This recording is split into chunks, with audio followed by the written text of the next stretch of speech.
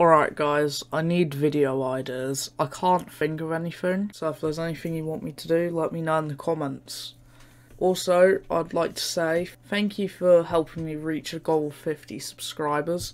It wasn't before the end of the year, but you know what? It doesn't matter. 50 subscribers is 50 subscribers.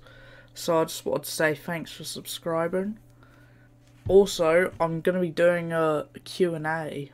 So, if you want to ask any questions, um, ask away in the comments. Uh, I'd love to know some of your questions. I've kinda lost the plot for videos.